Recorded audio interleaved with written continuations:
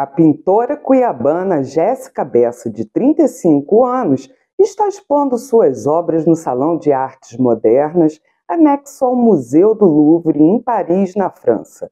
Ela foi selecionada para levar duas obras de arte inéditas para exposição aberta ao público no dia 18 deste mês, quando também foi lançada a quarta edição do livro Vivemos Arte, um volume internacional escrita em inglês que traz uma página especial dos trabalhos de Jéssica.